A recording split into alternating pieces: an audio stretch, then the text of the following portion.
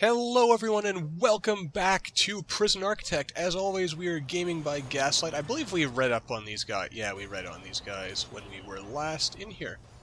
So, we'll just let that go about.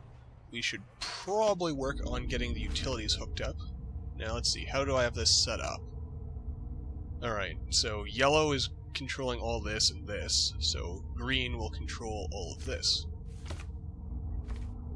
Also, apparently, despite my concerns about water setting things off, I did in fact build it in a kind of silly fashion.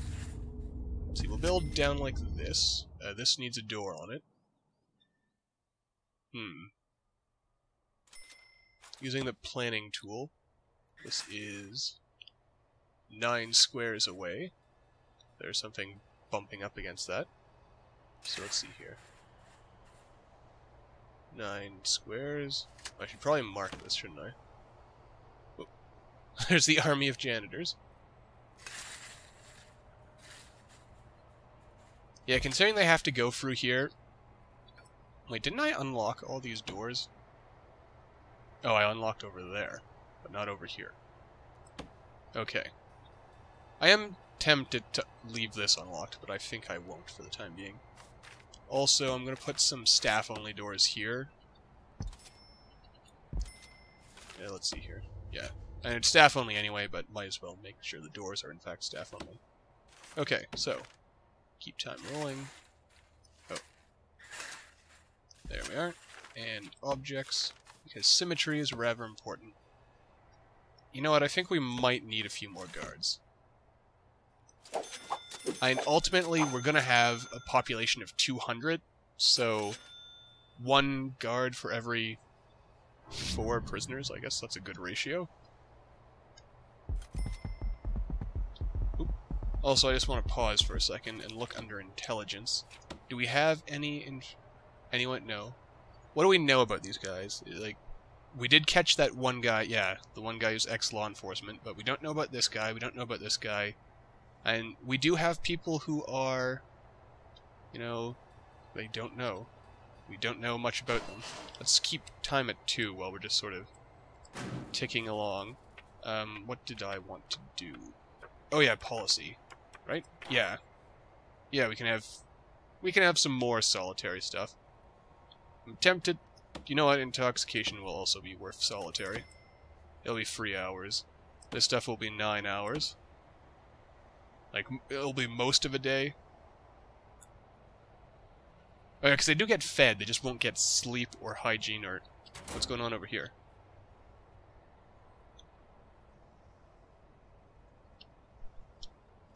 Oh, right.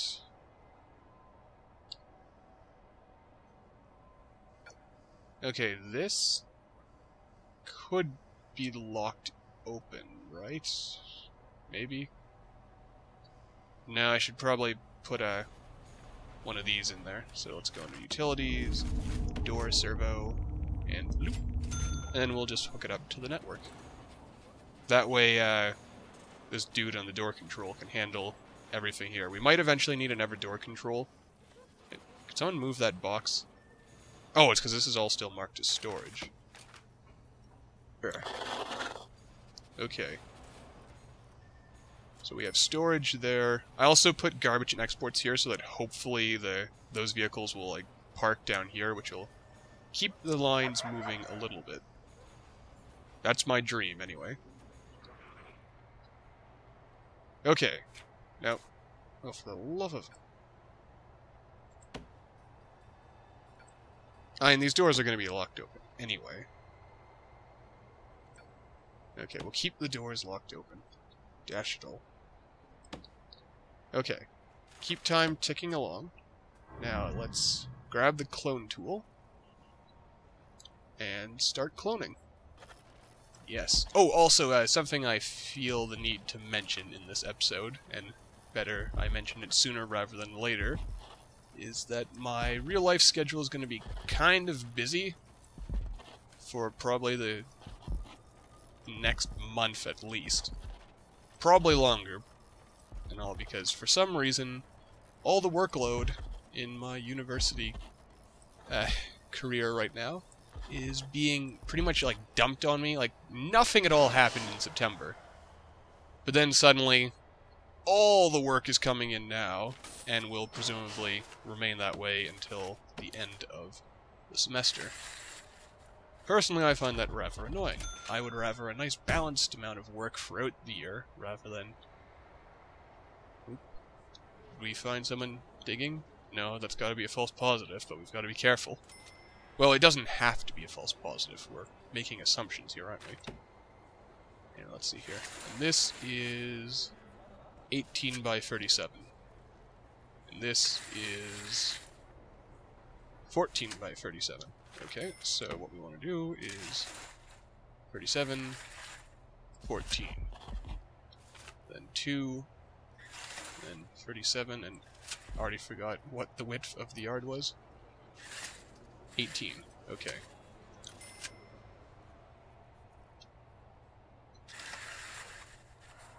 Yes, it's going to be perfect mirror image. And then this. Like that? Or like that? Now that I think about it, I should almost actually stretch all this up. Oh no, there's no one watching the cameras. Okay, now the first thing we're going to want to do before we bring in max guys is of course make sure we have this. Okay.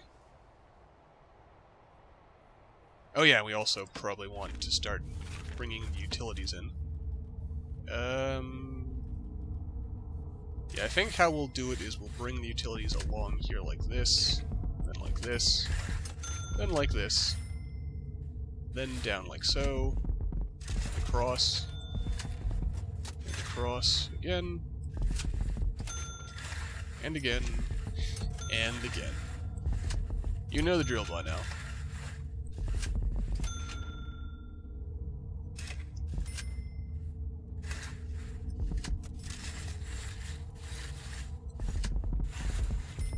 Excellent, excellent. So soon we shall have a grand, glorious prison of epic proportions. And we... Wait, cancel you, and then just stretch you like that. Excellent. Oh yeah, yeah, and utilities. Can't forget about the utilities. Prisoners would be rather unhappy with me if I forgot the utilities. Now, I think the way we'll do this is we'll go down like this, then over. Because I want to, as best as possible, encourage anyone digging their tunnels to do so in a fashion that is beneficial to me.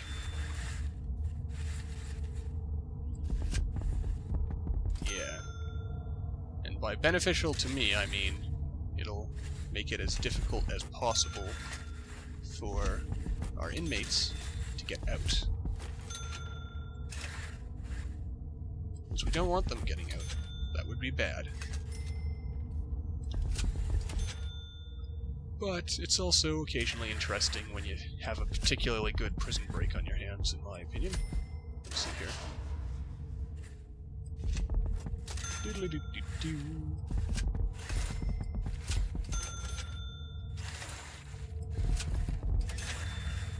Yeah, and we'll also want to make sure we have all these piped up before we actually let anyone in here. Because the last thing we want is for gang members to take in these cells and then be unable to actually build in them. Oh my! Look at that backup. Okay, let's see here. Rooms, storage. We need more storage. Uh, I guess we'll just extend it all the way down here. There we go. That sort of helped to move things along. I guess another thing that might help is some more uh, staff. We can afford it, so might as well. Oh boy. Alright, let's uh let's not build anything else. Also, deliveries. There we go. We'll expand the deliveries area. Oh good, they magically teleported in. That will help. Sort of. Oh boy. So, uh, yeah. Also, how how are the prisoner needs doing? Let's uh, hang around near here so we can actually see when the inmates finally get in. Look at them uniforms. Okay, needs. Needs are actually... I mean, they're all in medium, which is good, because that means that they're not too bad and that they're overall... Yeah, people are happy. Oop. Let's have that door set to be always open. Uh, this door will be always open. Eventually, I think we'll automate these things with, like, door timers so they're only open during the appropriate times of day. Hmm. More delivery and storage space, perhaps? We, we need to get these things out of here. Oh. No, that's a false alarm. At least I think it's a false alarm. I find that it... In, oh, generally, unless... We have some sacks of mail... Oh. Now what's going on? Oh, come on! A water pipe has burst and it's flooding the area. Fix it before the damage becomes too severe. Well, no duh. Here. There. Fortunately, there's nothing really important going on over here. Alright. So it's going to be a very, very long time before these guys get around to finishing everything. Our deployment is all proper, right? This is going to be max sec, because that's not for... Oh boy, it's pretty much taken all day, and these guys are still not done yet. I'm also mildly regretting putting the gravel here now. Oh yeah, see, everyone's everyone's having their needs met. Okay, food is... But then again, it's almost eating time, so uh, let's look at the regime. Yeah, we get this nice free hours in the yard, then three hours of free time to do whatever you happen to feel like doing, then two hours of eating, and then an hour of lockup, and then sleep, and then the day starts again. We're also making money again. Nice. Um, incidentally, more grants. Government security ratings. I don't really want armed guards yet. Crack down on drugs. Let's do that. Shakedown. It also occurs to me how... Oh! Oh! Oh, good God! I forgot to actually look at the prisoners. Uh, Frost... You... Oh, we have a, a gang member who's ex-law enforcement. Uh, you're in protective custody, which pretty much just means he's going to sit in the holding cell. Fearless and volatile. Dave Sickface Stewart, failed offer and beat poet. Accelerated mental degeneration and a life of crime followed his failure to get his magnum opus published. He now claims to be a super anarchist, believing that today's anarchists have become too organized. Of course they have. Which for some reason reminds me, I trailed off with the whole, like, my life stuff going on in my life thing. Uh, basically, all that means is that right now I'm just trying to record, like, a big backlog of videos that should hopefully keep like things flowing on the channel steadily for like the next week or two maybe. That's the hope anyway, because I don't know. I, I kind of feel like I'm at a point where I'm sort of not sure if I like what I'm doing with uh, school is what I really want to be doing, but I'm sort of. Uh, oh, Jack Jufro Andrews.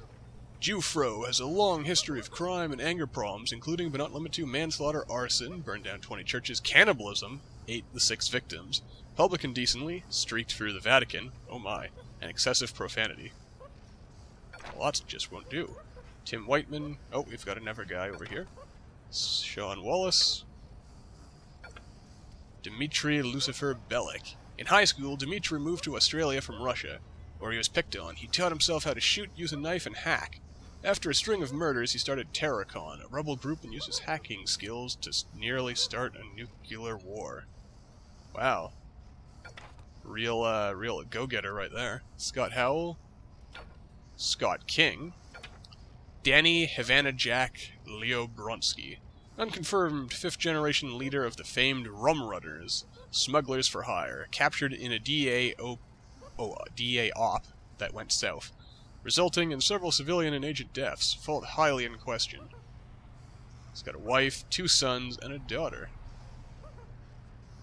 Let's see. He, oh, he has an ex-wife, 25, uh, daughter, 7, son, 4, daughter, 8, mother, 48, and father, 52. So, the bios thing about his family is almost identical to...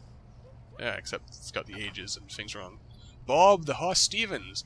The Hoss brutally murdered five people after he found out that his local video game store ran out of stock of Battletoads. I feel like we may have had you before in one of our previous prisons. Tom Castaway Brider. Or Brader.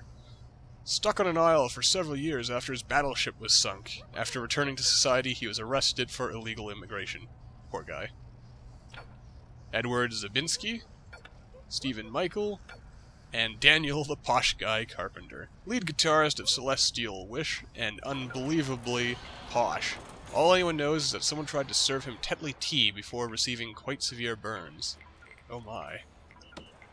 Yeah, so anyway, as I was saying, like, I'm kind of in a situation where I'm actually, like, far more interested in what I'm doing here on the channel and in, like, other things I want to try doing in life other than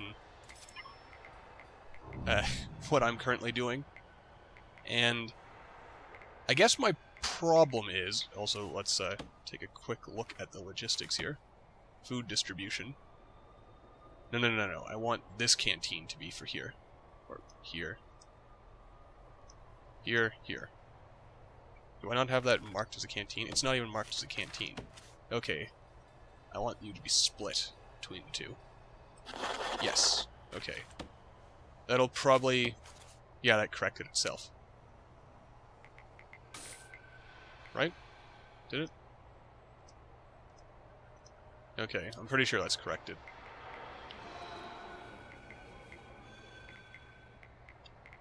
Why is this one a solid red?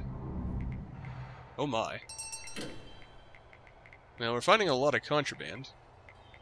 And uh, a lot of potential danger going on here. Uh, but overall, I'd say the prison is coming together relatively well. 115. 71 doesn't that still oh some people are in max capacity. Oh wait no no no no. Oh we must have had people who were released because they made their parole. Nice. Um tool cleanup which automatically finished apparently. Nice. Um cell block B. Boom boom and we'll say that we'll just go for a short-term investment for now anyway so yeah like I don't know. I'm sort of in a situation as we wrap this episode up where I don't know. I'm almost feeling like the only reason I'm still going is because I'm in my fourth year, and I figure that I kind of have to go because I've already spent so much time and money and effort, which is kind of silly. I mean, if it turns out what I'm doing isn't what I want to do, I probably shouldn't be doing it. But, uh, yeah. I don't know, it's just one of those things, right? We will, uh... Is there even anyone in here? Apparently not. Or are there?